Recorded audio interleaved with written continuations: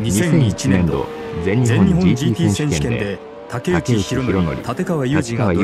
ライブしドライバーズチャンピオンを獲得したマシンがこのセルモスープラだ。このタイトル獲得は95年からスープラで JGTC を戦ってきた名門チーム。セルモにとっても初の栄冠であった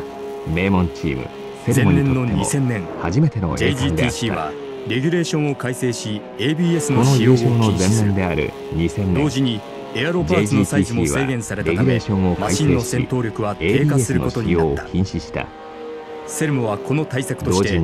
よりメカニカルグリップを重視する方向へセッティングを転換しライバルよりワンランク柔らかいタイヤを使う戦略を選んだ。セルモは2001年シーズンが始まると竹内立川組は開幕前の膨大なテストも功を奏して快調な走りを見せた。ワンランク柔らかいタイヤを使う戦略を選んだ。同時にウェイトハンデにも注意が払われた。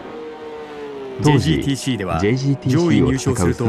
順位に応じてウェイトを積むことが課せられる。そのウェイトは上位ほど重くなるため必ずしも優勝ばかりがシリーズチャンピオンへの近道とは言えないのだ。ブリヂストンタイヤだったため最終戦までに2位2回3位1回4位1回と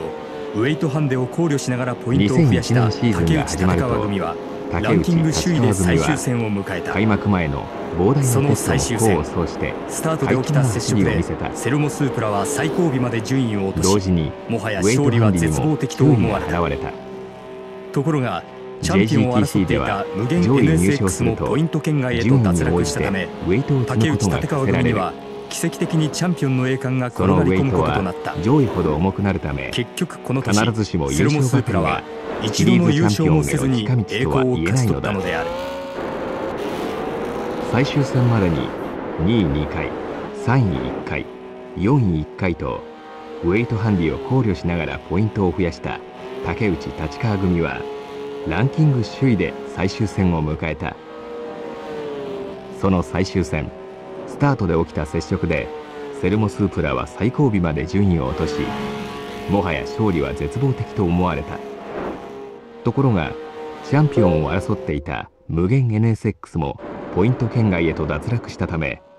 竹内立川組には奇跡的にチャンピオンの栄冠が転がり込むこととなった。セルモスープラは一度の優勝もせずに栄光を勝ち取ったのである。